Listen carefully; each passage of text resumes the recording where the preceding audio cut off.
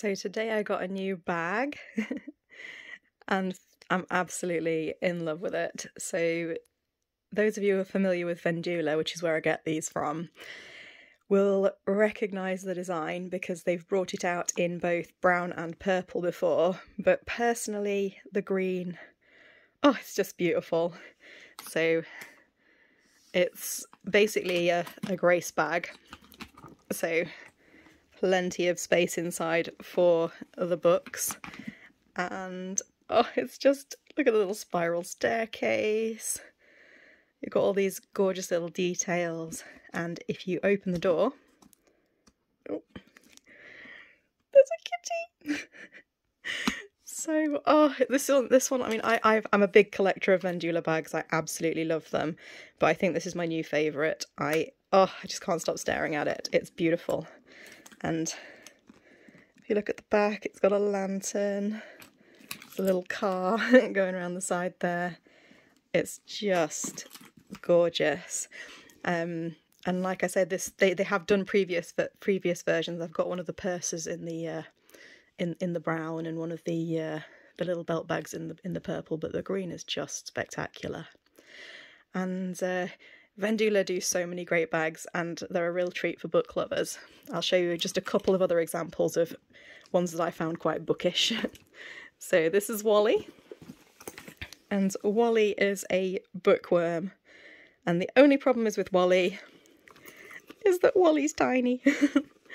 so I just, I kind of have him more for decoration than for use because obviously I never travel anywhere without a book and you can't get a book in there. I mean, you could maybe get my Kindle in if you if you squeezed it. And uh, yeah, that's Wally giving you sass. If my book is open, your mouth should be closed. But uh, you wouldn't expect that kind of sass from such a cute little face. Um, so yeah, he is adorable.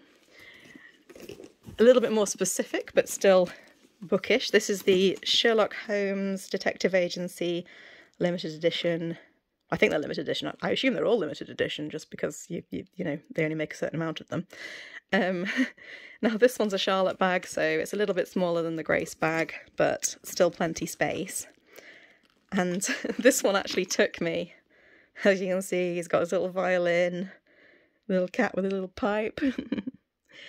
and uh, yeah, they're like little dioramas. This one actually took me a few days to discover the secret door. Um, so if you look behind here. Oh. oh, it's a lab, a secret laboratory. But uh, yeah, I was just, I was just, I was actually waiting for my mum and I was just fiddling about with it when I noticed that because it's actually quite tucked away. But isn't that vintage looking? it's elementary, my dear Ratson. And the other one that I have that's kind of, although it's not technically bookish, it reminds me of all my book friends on Litsy, just aesthetic wise. It's a cosy cottage. Cosy cottage to do your reading in. So again, it's a Grace bag. I've had this one for a while. But uh, yeah, these, these these bags are fantastic. They're just so beautiful, and although they're like I say they're not they're, they're not cheap, but um, you know just the value for money is amazing. Just given how much detail they have, because some some people like spend absolutely thousands and thousands on bags.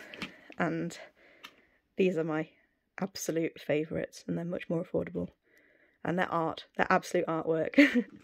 Anyway just thought I'd show off my collection and uh, yeah brag about my new purchase. Catch you later